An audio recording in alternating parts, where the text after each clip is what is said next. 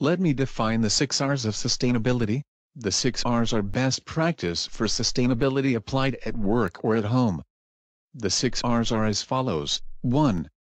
Rethink what could be done differently to reduce environmental impact. 2.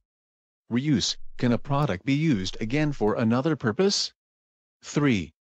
Recycle can materials or products we use be easily recycled when consumed? 4. Repair can a product be repaired instead of being thrown away? 5. Reduce. Can we reduce consumption of products or materials? 6.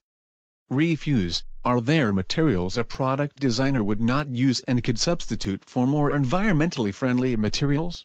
By adopting and applying the 6 R's of sustainability we can impact our world in a positive way and reduce waste, global warming and carbon emissions.